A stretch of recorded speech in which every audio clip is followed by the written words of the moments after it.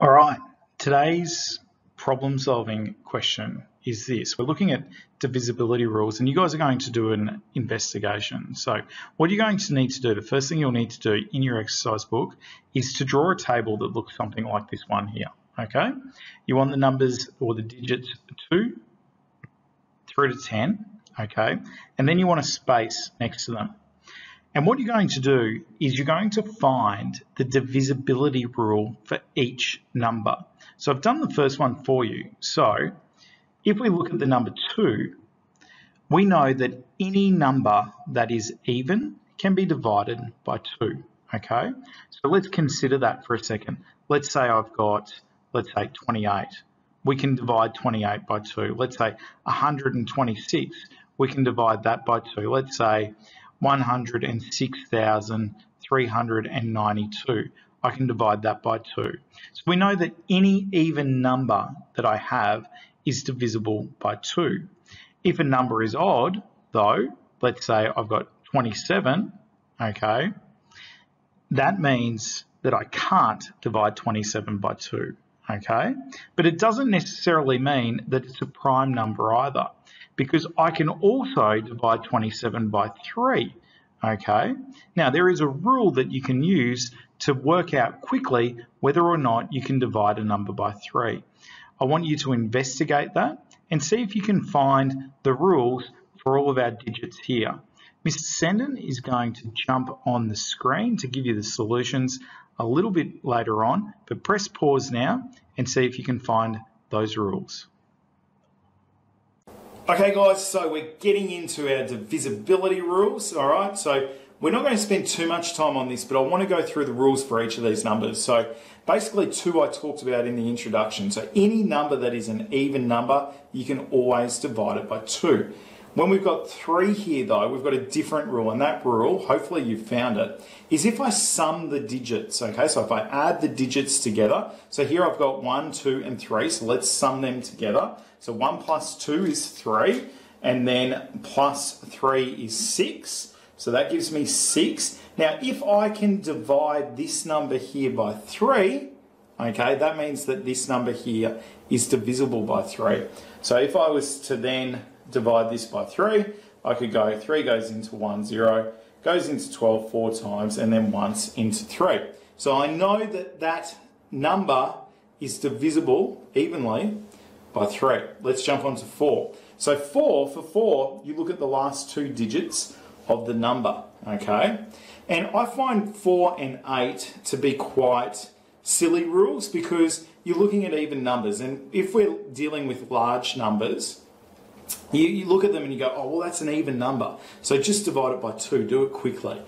But there are rules for four and eight. The rule for four is if the last two digits are divisible by four, okay, that means the whole number is divisible by four. So here I can see that yes, four does go evenly into 44, 11 times, which means that I could divide this whole thing by four. I'm not going to do it now because we're going to move on.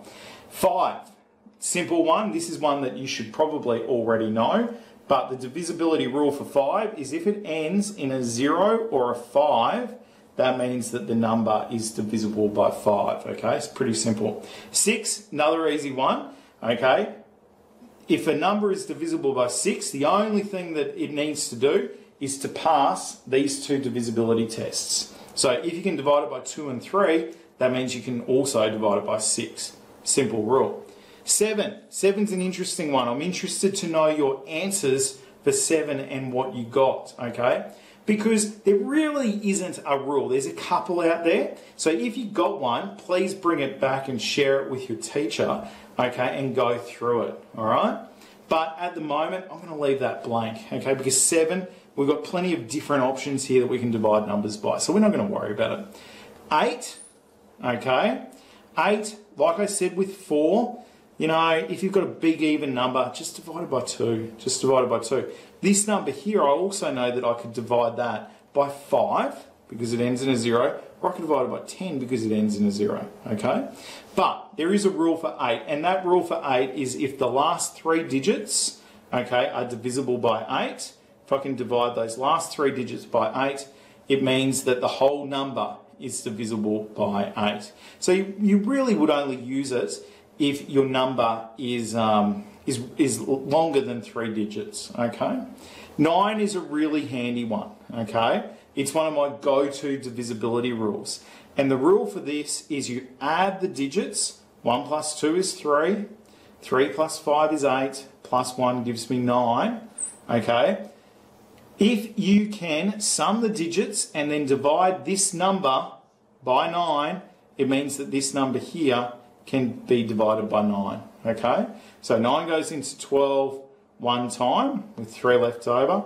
9 goes into 35 three times. I'm going to go with 3 with 8 left over, I think.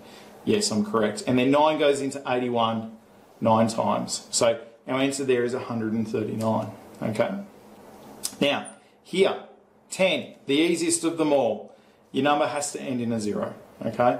If it ends in a zero, then you're all good. My go-to ones that I always use all the time are two, okay, a three, a five, nine, and ten.